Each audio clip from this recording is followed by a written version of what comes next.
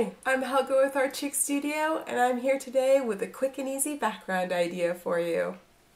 Now what you'll need for this quick background idea is watercolor paper, Sharpie marker, or markers, a thin and a thick one are great, watercolor crayons, um, any brand is fine, in this one I'm just using the Lyra, but really any brand of watercolor crayon is great a uh, watercolor brush, water of course, and, and a circle template. Okay, so where do you start? So, so many times it's like I feel like I want to be creative, but I don't know where to start. I'm just kind of lost.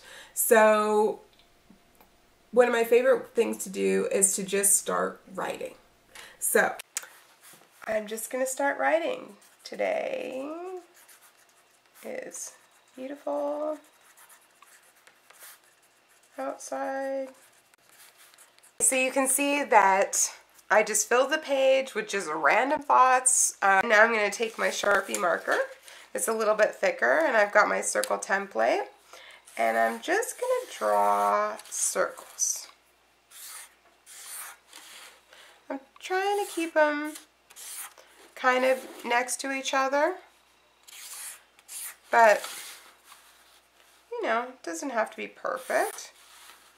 Okay, so now you can see I've filled my page with circles. And now I'm just going to scribble with my watercolor crayons. This is no, doesn't need to be perfect. You're just having fun. That's what I find is just sometimes just going for it, just jumping in, can get that creative spark going once you start doing stuff. I'm going to take my other crayon. Again, I'm just scribbling. Once I've got all of my things scribbled, then I'm just going to dip my watercolor brush in water and just start blending that watercolor crayon. Now I could stop there.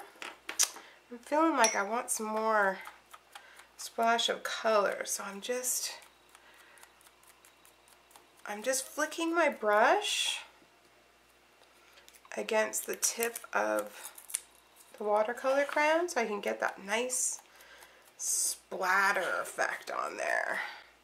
I'm just, you can also pick it up and start letting the drips all go everywhere too, which is really fun playing with those. And there you have it, a quick and easy background. If you enjoyed this video, please subscribe for more fun with ARTchix.